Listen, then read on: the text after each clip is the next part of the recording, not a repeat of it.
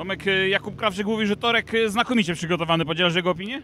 Znakomicie, dokładnie, tak, zgodzę się z Kubą. No, tak jak na mecz ligowy, tak, w zeszłym sezonie, więc, więc tylko możemy się cieszyć i trenować. A Były obawy, jak ten tor będzie zachowywał się po zimie i po tej modernizacji i po tym ciężkim sprzęcie, który tutaj stał na tym torze przez jakiś czas? No obawy były, tak, ciężki sprzęt wjechał, ten tor był naprawdę fest rozryty, do tego e, nowe odwodnienie liniowe, tak, no, no było wiele, e, wiele rzeczy działo się na torze, a tutaj prezes, trener, nasz toromistrz, pan Kaziu, no wszyscy, którzy pracowali, tak, e, no spisali się na szóstkę z plusem, wyśmienicie to wszystko wygląda i oby te prace tylko jak najszybciej e, dobiegły końca, żeby już był pełen spokój. Pierwszy trening to takie rozprostowanie kości po zimie?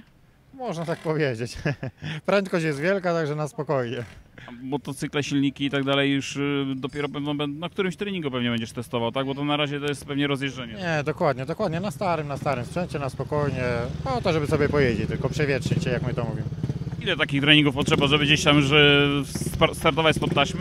Ile się da, ile będzie to możliwe, tak? No będziemy, teraz mamy zaplanowaną sesję trzydniową, także miejmy nadzieję, że wszystko się uda, że pogoda nam dopisze też i później będziemy czekać na przyszły tydzień, co, co czas pokaże, sparingi wtedy się już zacznie prawdziwa walka. A kiedy testowanie właśnie tych silników nowych? No myślę, że w przyszłym tygodniu.